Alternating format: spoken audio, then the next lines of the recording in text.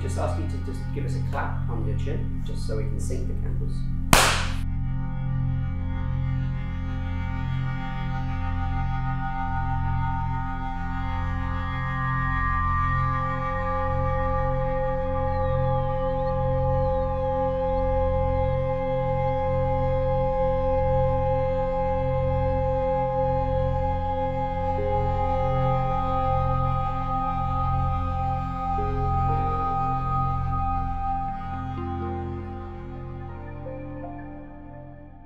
Since I remember myself, I wanted to be an architect. Uh, I grew up in Haifa, in Israel, which is a city amongst the few that still have remnants of Palestinian communities living in there. And as I grew up, I was interested both in, in architectural design, but I could see that the politics towards our Palestinian neighbors was inscribed in architectural form. I could see the way the neighborhoods were organized. I could see the separation. I could see the frontier areas between uh, the Palestinian community and the Jewish majority in Haifa. And I understood already the political significance of architecture.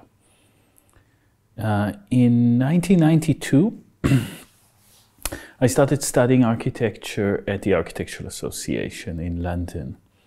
Uh, it's a very international school. It's a very experimental school. It has a great tradition of breaking the boundaries of what architecture means, of what can be done with architects. People that graduated from that school went on to open restaurants, uh, went on to be stage designers, script writers, filmmakers. It kind of felt as if architecture is a somehow basic education in spatial creativity. And from that basis, we could travel in different destinations, always carrying with us something very basic, something very architectural, wherever we went with that practice. So I, I, managed to go through five years of architectural education at the AA almost without designing one single building. I've written books, I've written scripts, I've made films, I made photographic installations, I've written fiction, and I've written in a film documentary. Um, and I felt very content that that is a way of being an architect in the world. Uh, so that school gave me somehow that kind of um, confidence, I would say, um, to know that architecture is a home, you can go back to it, but you can also travel away from it, taking something with you. You know, architecture is a kind of funny kind of discipline. On the one hand, it has its own vocabulary, it has its own more or less rigid rules. On the other hand, it has to touch, it's coming into contact with many different disciplines. So when an architect builds a building, uh, one has to learn about you know, the environment, one has to learn about services, one has to learn about energy, um, structural engineering, one has to understand digital, digital technology and one has to understand the physical uh, uh, materials, the new materials that exist. So you're always rubbing against other disciplines. So there's something natural about uh, architecture being a kind of a multidisciplinary practice because that's part of what it is. Um, architecture is also, people mistake architecture to be about building buildings. Architects, architects make drawings. Architects make simulations.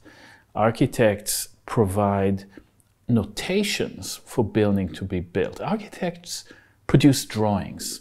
Architects produce ideas.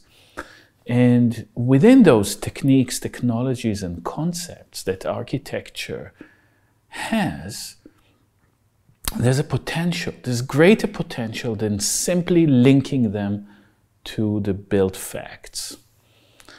Uh, the kind of simulations that we do, the kind of modelings we do, uh, the kind of scenarios we have to imagine when we design buildings. Uh, somehow, always about a relation between the hard facts walls, doors, streets, stairwells, the syntax of a building and of the city, and the soft movement that's happening within that. There's a relation between the static and the dynamic. You know, some people say they want to go to study architecture because they want to leave something for eternity. First of all, it's bullshit. You know, no building is designed today to last more than uh, a few decades. Uh, but um, architecture is not that. Architecture is the movements and the relations that are enabled by the way you open, close, and channel functions, people, movements within that. They're enabled, they're not determined, uh, but they're enabled by the way in which matter is organized across space. So the minute that you understand architecture to be that relation between the event and the physicality between material, static material, and a dynamic ephemeral event, you understand that this relation can move both ways. You can start from an event and ask what kind of architecture it needs or you can look at the building and say, what kind of event might have happened here? Or what kind of event that sort of enclosure, that sort of material syntax will enable. And I think that movement across the um, uh, across those, you know, what is the reason and what is the consequence? If you can move back and front in time, you know that uh, architecture is a very good optics to understand different things. The minute that you understand that architecture is about the incident, about the event, about social relations that happen within it, um, it enables you to understand social relations and it understand it enables you to understand events in a much better way. In fact, in a very unique way. I don't say it's the only way to understand events, because different disciplines, journalism, history, sociology, have their own way of describing the world. But we architects understand that relation between the static and the dynamic, and that enables us to give insights that other disciplines cannot give.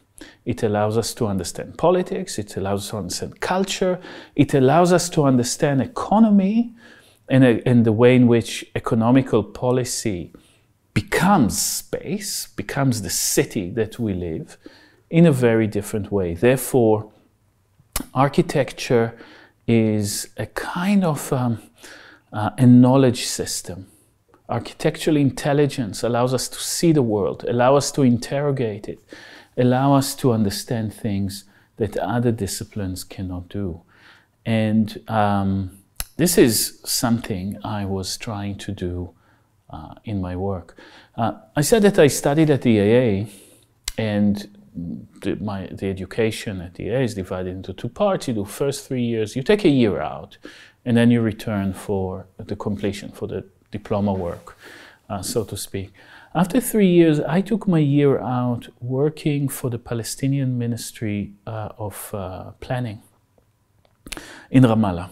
Uh, as an Israeli, it's obviously forbidden. You're not allowed to cross those borders. Um, but that was uh, a time where one could simply go with a car, uh, with one's car, across the entire space that is now divided by walls and checkpoints, etc. And I offered my architectural skills to the Ministry of Planning, controlled by the PLO, effectively, by the, to the PLO. And I asked, how can I help?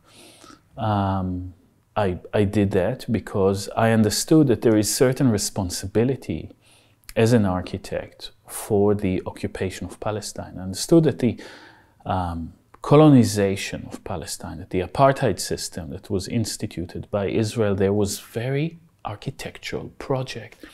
It was about roads that were serving one community while bypassing another. It was by neighborhoods, which were reserved for Jews only, and actually separated and cut apart Palestinian fabric. It was about other infrastructure, uh, such as electricity and water, that weren't unequally divided. And I thought that if architecture was responsible for a crime, possibly architectural intelligence can allow us to understand that project better. Uh, indeed, people were writing about the occupation or other aspect of Israeli colonialism uh, from historical perspective, from a journalistic perspective, but architecture allowed me and allowed you know many others later uh, to understand um, the design dimension of that regime. And um, so when I went to the Palestinian Ministry of Culture, I said what could I could do um, at the beginning, they asked me to, you know, just like draft something or fill in, you know, like assistant kind of intern type job.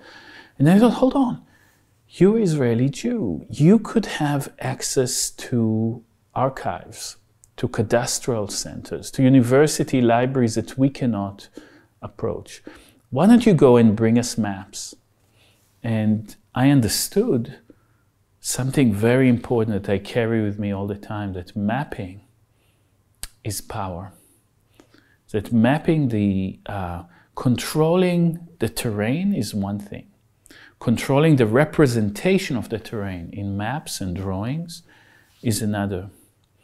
And indeed, I went, I was like a very low level industrial espionage uh, going into libraries, making photocopies, putting it in the trunk of my car, driving back to Ramallah, giving uh, those uh, maps and plans to my Palestinian colleagues and friends, and understood that this is, this is important. And later on, immediately after I graduated from my architectural degree, I went on to myself map out the crime, the architectural crime of the control of the West Bank and produce a series of maps. And in fact, have written the first human rights report that claimed that architects are in violation of human rights, that architects are potentially participants in war crimes and crimes against um, crimes of apartheid, etc.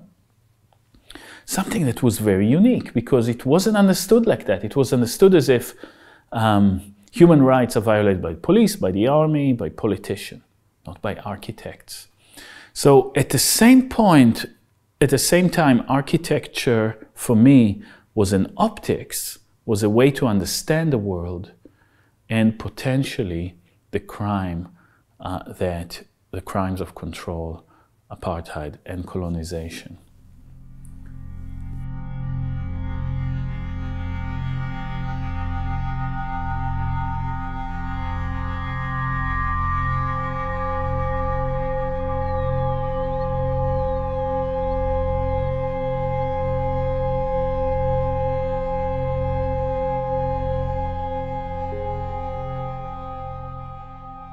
There is a principle of forensic investigation. It's called the Locard principle. And it claims that every contact leaves a trace. Your foot, your shoe is touching the floor somewhere. Even if it's not very visible, a trace is there. Some molecules of your sole are being left there. Uh, because a lot of the crimes that forensic architecture is looking at today happen within cities, happen within buildings, architecture becomes the medium that conserve those traces. On the left, we can see a change in the direction of the road. On the right, a road that widens. We can compare these distinctive details to satellite images and use these to confirm the location of the strike. Then we build a computer model of the building. Based upon the path of destruction, we reconstruct the trajectory of one of the missiles. We locate the room where the missile had exploded inside the building. Parts of the video have been filmed inside that room. A murder happened within a room. Perhaps there's blood splatter on the wall. Perhaps there's footprints. Uh, perhaps um, what, what we're looking at is a bomb uh, that registers itself in the on the concrete facade of the building. Perhaps the car, the getaway car, ran over a garden, leaving some traces within that. Architecture, what we would call the architectural surfaces, becomes something like photographic surfaces. They record what has happened on it. You need to very carefully look. But the video clip can provide a rare ground level perspective of the strike. We combine the still frames from the video into a single panoramic collage. There are hundreds of small traces on the wall caused by the steel fragments of the blast. We locate and analyse each of these fragments. The fragmentation pattern is less dense in parts, suggesting something may have absorbed the shrapnel before reaching the wall. It is possible that the absence of fragments indicates the places where people were killed. The silhouette of the bodies is inscribed in the room. The walls are like photographs, exposed to the blast like a film is exposed to light. Our work is about care, is about attention, is about developing and augmenting the capacity to notice, to register those traces. But that's not all. Then we need to connect them. We need to connect one trace to the other to the third, to the fourth, to the fifth, to the sixth. Each trace is registered in a different way, but all of them are recorded on architectural surfaces.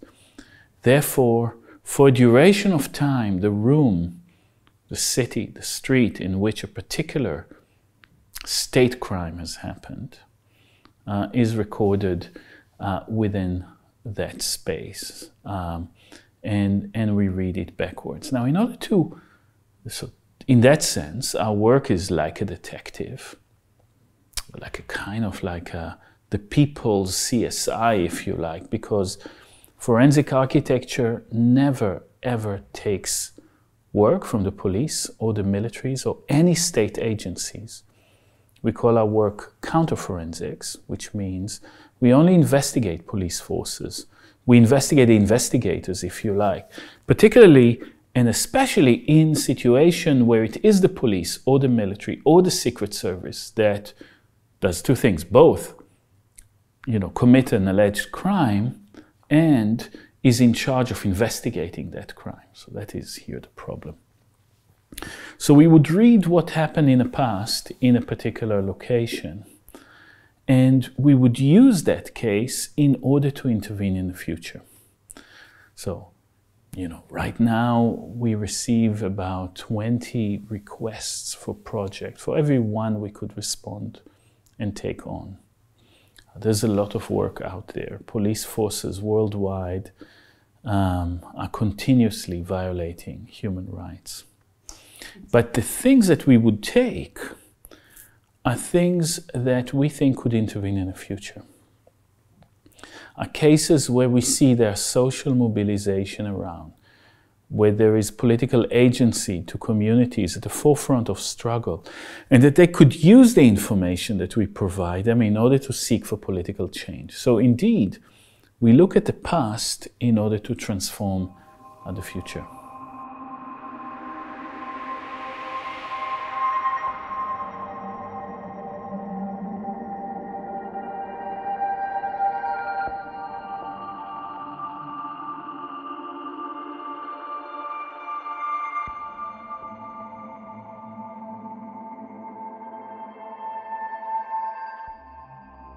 With the NSU terror attacks, um, this is a series of murders that happened in Germany in the first decade of the 21st century.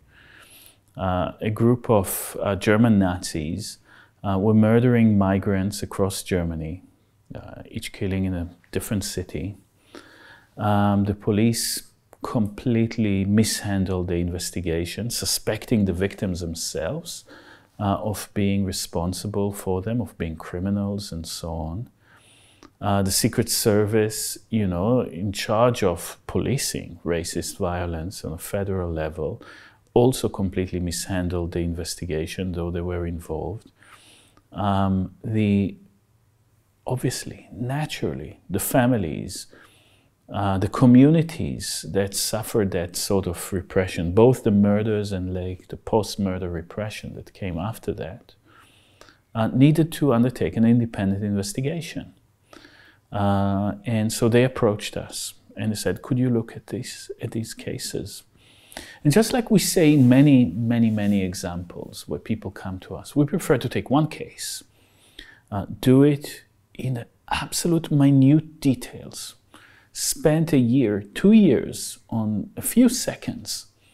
And out of that incident, out of the microphysics, out of the molecular level of time, pull strings that connect that event to the world that enabled it, to the world of which it is part.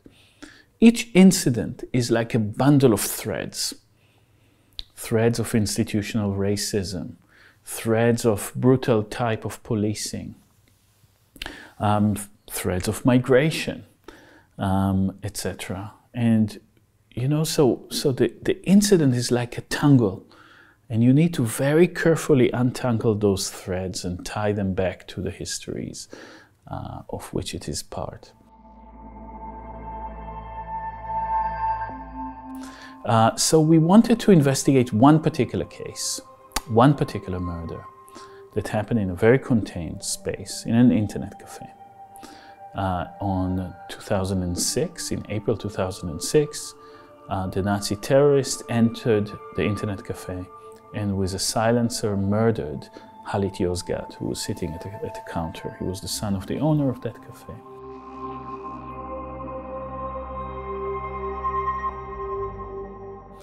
Uh, in that same space, in that same internet cafe, at that very moment, uh, was Andreas Temme, and he was a Secret Service agent in charge of policing neo Nazis. In 2015, many of the police records documenting this investigation were leaked. Police reports, witness testimonies, computer and phone logs, and site photographs were made public. Amongst these files was a crucial piece of evidence a police video showing Andreas Temme's reenactment of his visit to the shop.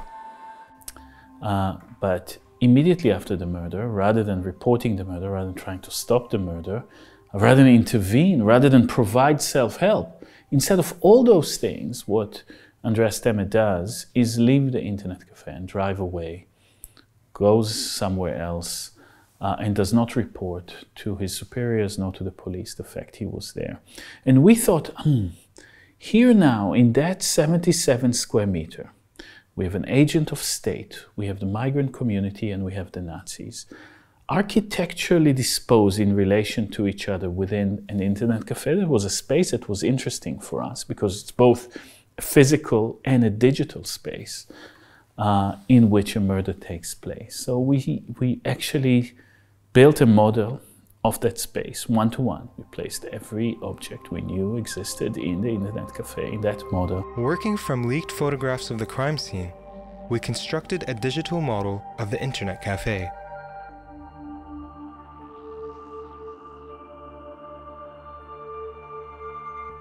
Within those 77 square meters, different actors, the victim, his killers, and the state employee were architecturally disposed in relation to each other.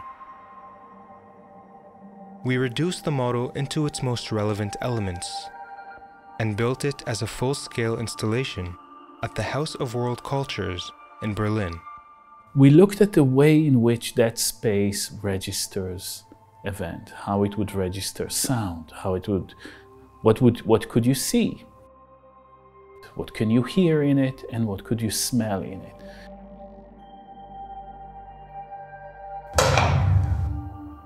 Uh, precisely because the Secret Service agent said he couldn't smell, hear, or see uh, the murder, and we proved him wrong.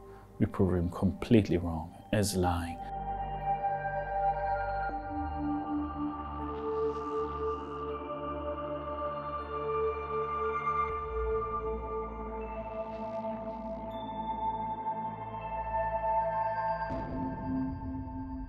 Now, that could be a technical kind of realization. You would say, okay, you know, we cast doubt on the testimony of a Secret Service agent. But this is how counterforensic works. You make a little hole, you drill a little hole in the wall of state politics.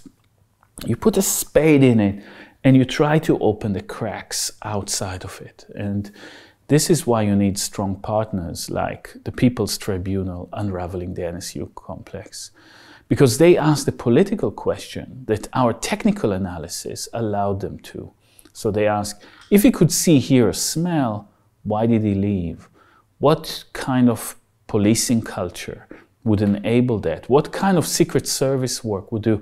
Is there institutional racism within those organizations that makes exactly those organizations that are responsible for protecting the migrants in society, the weakest and most vulnerable people in society, need to be protected by organizations that at best are careless towards uh, the life and at worst have members that are collaborating with Nazi terrorists without that being seeing the light of day.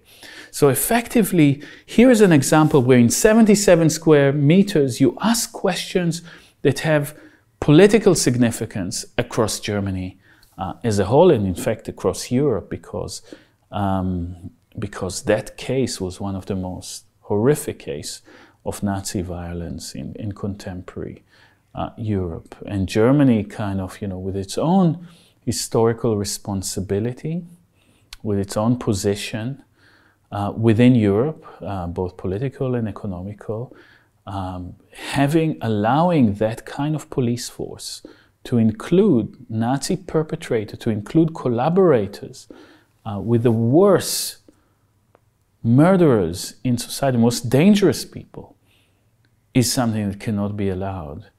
Uh, and none of us should feel safe in a world like that. This is why it is very important. It's like acupuncture.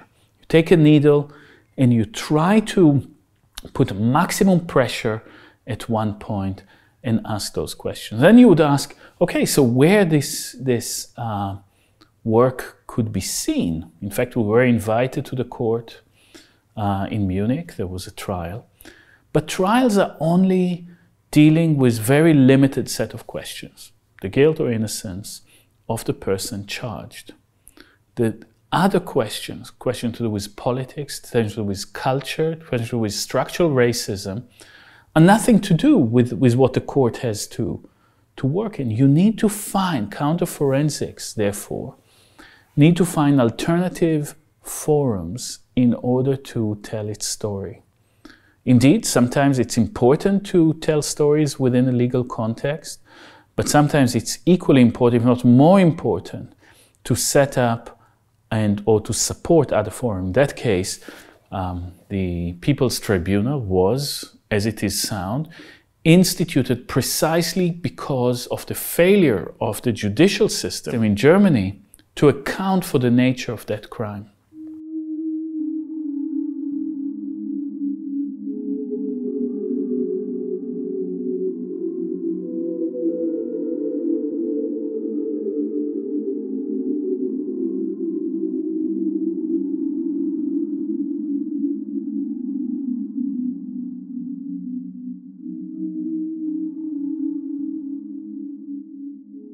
Yeah, in, in legal setting, uh, the category of testimony and evidence belong to completely different worlds.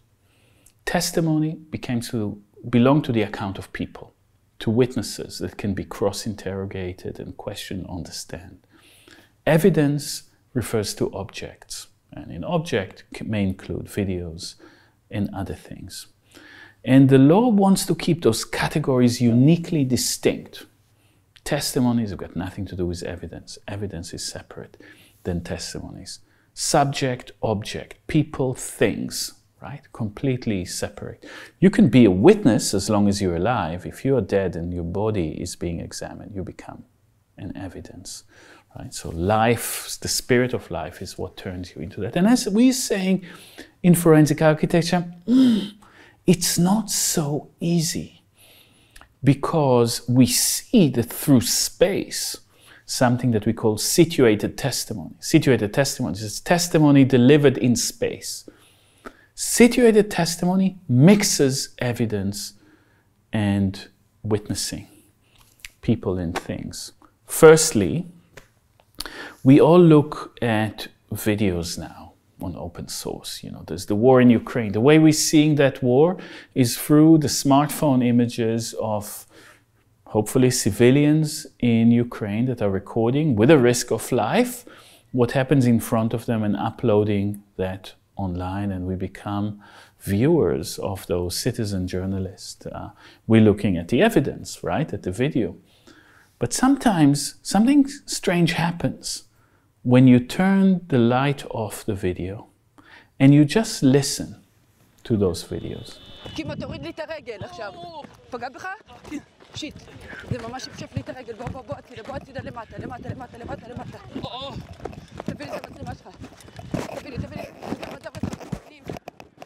And I can tell you from experience, from having seen tens of thousands of those videos, so having worked with them, that almost all of them include testimony. So when people record something, they speak. Sometimes they narrate what happened, sometimes they cry, sometimes they curse, sometimes they are arguing with the people that they film all of a sudden we have testimony inside evidence, right? Situated testimony.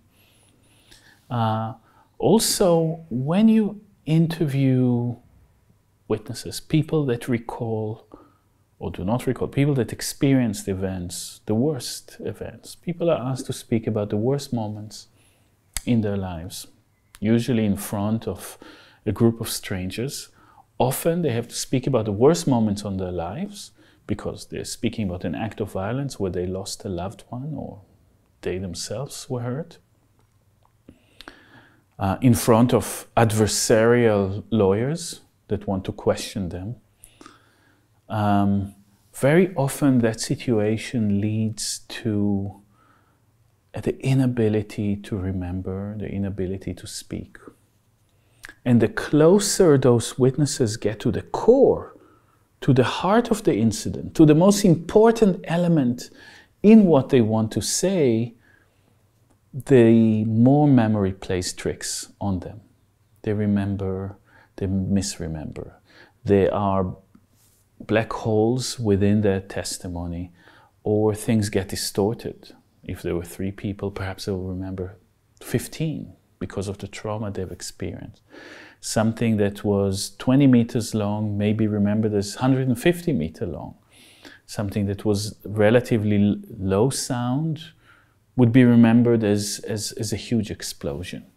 We know that. We know that the difficulty uh, of recollection with witnesses. Not only do we know that, we know that when witnesses make those errors, quote unquote, quote unquote, in terms of like not describing things as others would have captured them at the time, that the error itself proves that they've experienced something violent. The truth is in the error uh, in, in many ways. And we've developed together with forensic psychologists a system of combining testimony and evidence, of building with witnesses in a very empathetic, very careful, uh, very slow way the spaces where things have happened without much demand, without asking them about what happened. Sometimes they remember the, the size of a floor tile, and we would build a room in prison around the size of a floor tile, uh, such as in the prison of Saydnaya in Syria. Sometimes what they remember are the trees uh, and vegetation. So very, very patiently populate the space with model trees and, and vegetation. They'll remember rain, we'll put rain in the model. And as they construct, there is the agency moves from us, the experts, to the witness. They lead the process. They build the scene. They feel satisfied sometimes to have it externalized from their head. And very often that evidence building means that lost detail could return.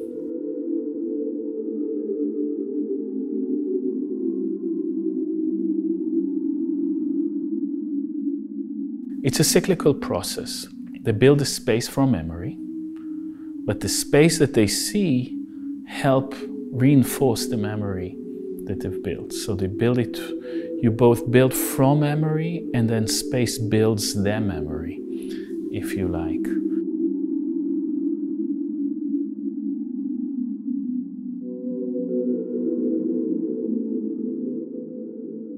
Um, and it is known as a kind of therapeutic technique with um, people that suffered uh, trauma.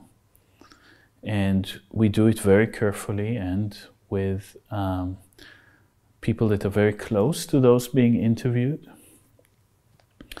And it's a much more precise way of taking accounts of people. Not only does it reveal lost details, that were erased simply because they're too horrible to remember, and they return to the witness through the process of building. But uh, they allow a very clear rendering for juries, for the public, uh, of what has taken place. And sometimes they help the witness reorder their thoughts and move on. And many, many people told us that that process actually helped them because sometimes you you're obsessed with something that is internal to your head and you do not know how to externalize it the minute it is out there. As an architectural model you can see it. It's outside of your it's outside of your head. Um, we have noticed that it's in several moments we've noticed that building a model allowed to bring back details that were lost. One of our witnesses was, um, she was a, she prefers to remain anonymous. She was a survivor of a drone strike in Pakistan, a CIA drone strike that murdered, you know, family members of her within that uh, building that they had in Mir Ali. Mhm. Und haben ja hier gegessen. Mhm. Die haben wirklich äh, hier drauf. Okay. Innen drin komplett schwarz und die Erhöhung war halt so Das waren so Streifen halt wegen dem, weil das ja dann aufgeplatzt ist, die Rakete. Ja, ne? okay. Vieles war auch verbrannt. So viele Stoffstücke und auf dem Boden halt die ganzen Metallsplitter von der Rakete. Uh, she could not reorder the thought. The whole moment of the strike was mixed up in her head, but she wanted to advocate again, she wanted to tell her story. And this is what we did. We built her house detail by detail, appliance by appliance. And when she built a fan, um, the fan is simply a fan for making wind, um, we could see that she returned. So we could see there was something with that fan that bothered her. At the beginning, it was a ceiling fan. Then she said, no, it wasn't. It was standing here. And then she said, no, it wasn't standing here. It was standing there. And then she moved it there. And then she moved it again. And at one point where she moved the fan to the outside, not to the inside of her room, but to the courtyard, the memory somehow combined, returned to her. And she remembered that she saw human flesh on it. And the minute that she could deal with that particular most horrific sight, the flesh of family members of you that you confront, on the blades of the fan, the fan holding that traumatic memory. Around that fan, she could reconstruct the entire time space of that uh, incident. And this is an example of memory, architecture, evidence and testimony, subject and object somehow combined together through architecture. Architecture stands precisely as I said at the beginning of our conversation when I said Architecture is a relation between a physical, static object and the dynamic event and processes and relations that happen within that. This is why architecture could provide the link between evidence and testimony.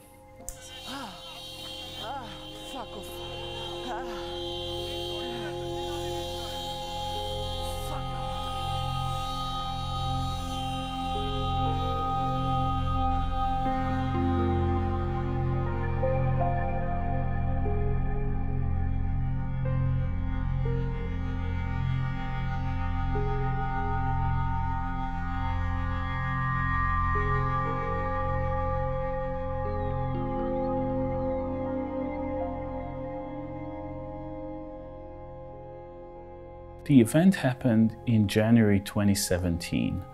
Um, a Palestinian Bedouin school teacher, the deputy head of a school, uh, tried to rescue some object from his mother's house. Israeli police wanted to demolish the house. They raided this village in the middle of the night. He carefully packed her stuff into his car and drove slowly outside uh, her home. What we know that later happened is that the police shot him to death and that one of the policemen were run over by the car. The Israeli police said that the, this man, Yaqub Musa Abu Kiyan, is a terrorist, that he murdered a policeman and then they had to shoot him. Uh, what witnesses said and what the villagers knew is that he would never do something like that. And we investigated that case throughout years. We returned every time with a different technique. Initially, we showed no, the police sh shot Yaqub Musa Abu first before he ran over the policeman. And very likely, after shooting him, he lost control of the vehicle and ran over the police. But evidence is not only about expertise. Building evidence is building the social relations that constitute and support truth claims in the world. We do not want to be expert in the same way like any other bureaucratic experts for courts are. Uh, we do not want to be what is called objective scientists. This does not mean that we distort our evidence. We are very clear that what we find we will make public and we are very ferocious about the detail and the claims that we are making, the truth value. But we have we enter into evidence production because we take a side. We take the side of the victims. Uh, and very often communities at the forefront of struggle know, as I said at the beginning, they knew first that this is impossible, that Yaqub Musa Abu Kiyan is a, is, a, is a terrorist. We are simply supporting them. And it is extremely important to socialize the process of evidence making to involve the people that suffer, the communities that suffer the loss in the process of investigation. Many people would say, ah, you know, now your evidence worth nothing because you need to be from the outside. But we don't believe in that. And even if we pay a price, and even if, you know, the lawyers from the other side would like to disqualify it for that, um, that is a price worth paying because what is important for us in a legal process is only the political process that it mobilizes. Uh, in investigating cases of murder of loss, we want to support the communities that have suffered that. We want to empower them. We want to work with them together. We call this process open verification. And therefore, when we reenacted the police incident that led to the murder of Yaqub Musa Abu Kiyan, it was absolutely essential to work with his cousins, relatives, the entire village actually reconstructed it. And to tell you the truth, it was what we've learned during that reconstruction. We've learned from those people because they have a situated, embodied kind of knowledge that is much more robust than any technical capacity that we could bring uh, into it. Still, our duty of making that is to make every step in our process transparent and clear to show what we do and how we do, and then we can argue with it. We placed actors in the same position as the policeman. Using the same model car, a Toyota Land Cruiser, our driver lifted his right foot from the gas pedal, exactly where Abu Kiyan's vehicle began to accelerate in the thermal video. We let the vehicle roll freely down the slope, recording its speed and acceleration.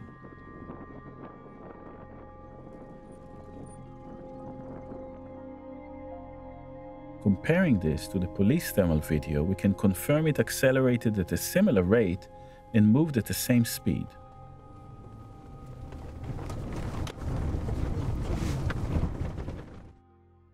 And frankly, that case was a huge success. We have led to government retraction of the lie that Yaqub Musa Abu Kiyan was a terrorist um, we, they ended up, the government ended up with a lot of eggs on their face.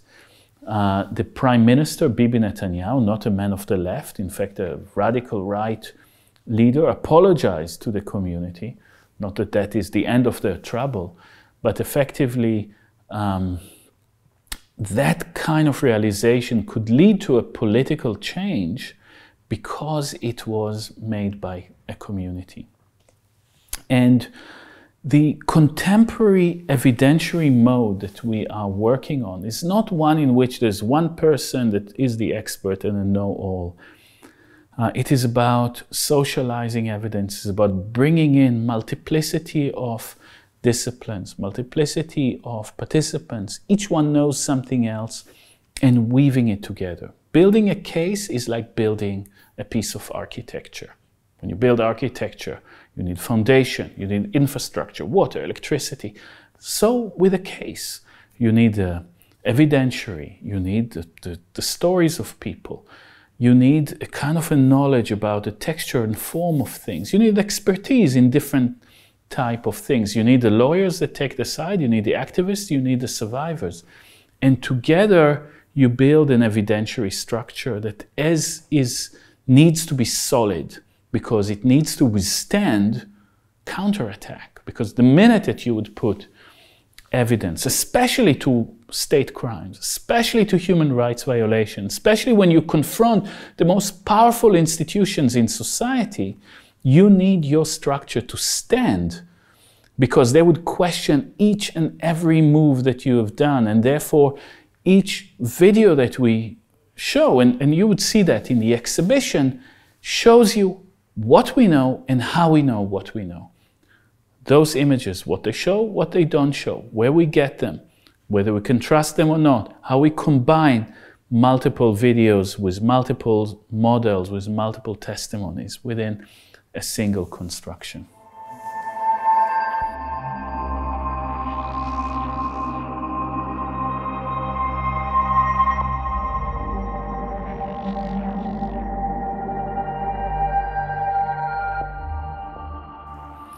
Aesthetics is absolutely crucial in our work. And maybe that's one of the reasons that we show in an art institution. But for us, aesthetics is not to make things beautiful. It's not about beautification. It's not about the value of uh, artwork that we're interested in. We understand the word aesthetics like the ancient Greeks would have understood the word aesthesis, meaning that which lends itself to the senses, that which get registered as a trace uh, within uh, on a particular surface. Uh, that which get registered by the eyes, by the ears, by your other senses uh, in that way. So sensing is aesthetics. That's the ground base of our understanding of aesthetics. Then you know, we are a very strange kind of research agency because we're not only architects, they're artists, they're filmmakers, they're lawyers, they're journalists, they're coders, they're, you know, um, probably forget one or two disciplines that uh, our team uh, encapsulate. Um, but bringing together, looking at images, producing videos, composing, assembling a case is an aesthetic work. And then the last part is its presentation. When you present something in court, it's almost like a curatorial act. You have your audience that come at judgment. In a museum, they render judgment. It's a nice, important, interesting piece of work. In the court, they render another kind of judgment. But still, there is a relation between things that you display and a kind of conversation, kind of critical conversation around it. This is why coming from uh, aesthetic traditions, having displayed in exhibition, having worked in, in museum, allow us to understand the legal process as a curatorial one, as arranging the relation between people and things, display and conversation, presentation and judgment. And uh, that is something that is absolutely essential in our work. And now every forensic scientist that you would ask would deny immediately that aesthetic has got anything to do with the scientific process. They would say, no, it's far too serious to bring aesthetics into it, as if aesthetics is some kind of non-serious, almost childlike play that has no responsibility to it. Uh, but I think that every lawyer knows how important it is to craft your argument, how important is the performance and conviction is the rhetorics when you present your cases. And for us, that rhetorical fluency that sometimes you admire in a, in a beautiful speech by a lawyer is done in a different way. It is done through image, through sound, through combination, etc. So for us, art institutions do different kind of things in our work. Sometimes when you cannot present a case in court, an art space offer another kind of forum. It allows you to show cases to the public that is difficult uh, because state courts do not always like to stand in judgment over state crime, especially not in the same place where, or the same state uh, where they've been committed. Sometimes a commission from an art institution allows us practically to produce work. And it is very important to know that the Louisiana exhibition has allowed to, has contributed to the production of a piece on Ukraine, on the attack, on the, on the uh, Russian attack on the Holocaust site of Babin Yar. And that work perhaps could not have been if there would not be uh, such support.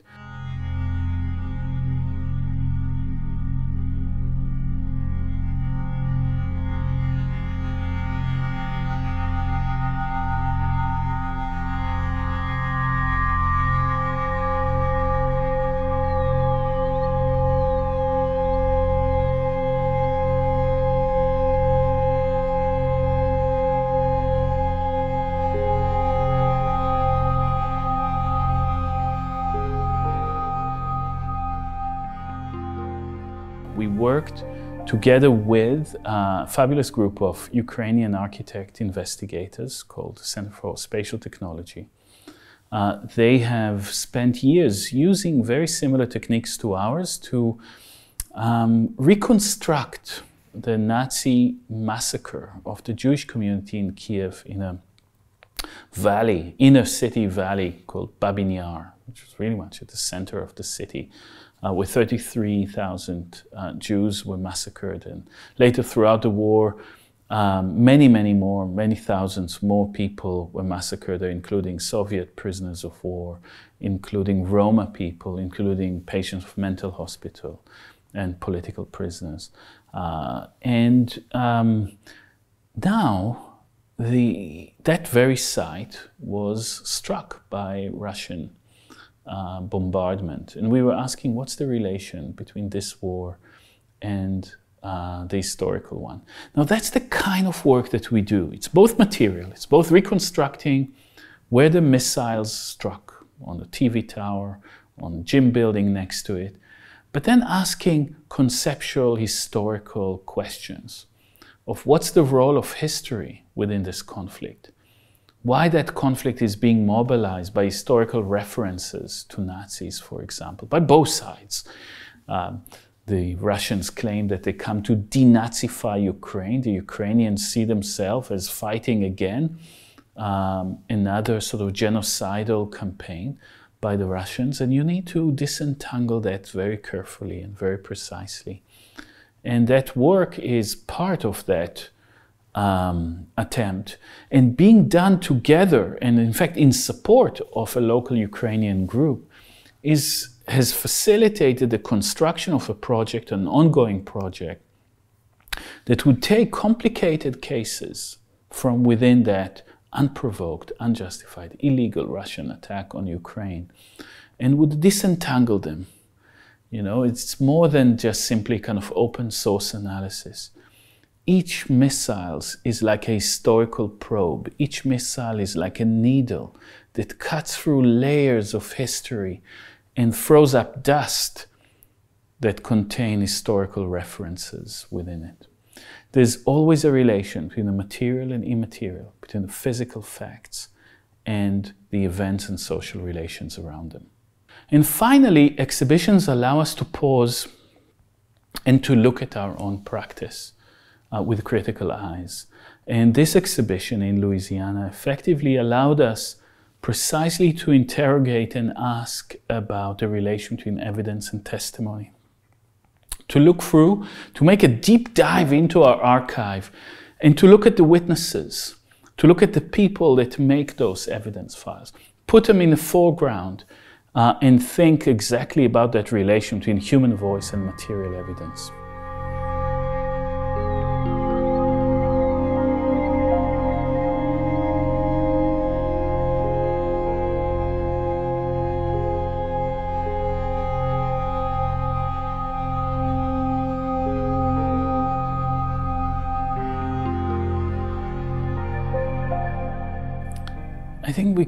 Of end up leading the lives that the world around us and the challenges that it poses to us uh, demand. And I think in many, in another period, I might have wanted to be an architect. In fact, I always keep a sketchbook with architectural plans and there is, there is a passion, there is a desire in me, there's a flame that hasn't been extinguished for, uh, for design. Not about being, you know, making, being famous of that or making money from it, etc. It's simply architecture is a passion. Uh, but I think that this particular historical conjuncture, conjuncture, this particular historical conjuncture of being born in Israel at the time that I've been born, uh, the duties that it places on me, the kind of mental, ethical burden, uh, I think it would have been unethical uh, to do that. And I think that I found a way to live that, you know, slice of life, slice of history in which, you know, our life is being put uh, in a way that I think is, is the right way and to put, uh, to actually also within that contribute to expanding what architecture means. It's not an abandonment of architecture. I think that what we claim is that architecture includes also what we do. We do not say replace it. We do not say all architects should do this, but we should say now architecture is slightly bigger uh, than what it was. And it enable young architects and should give them agency and should give them motivation to go out there and to understand that they can be public intellectuals and they can be political agents or activists, and that the toolbox, what they have in their laptops, those software, those things that we studied uh, in almost every architectural school in the world are very, very powerful tools politically if you know how to use them.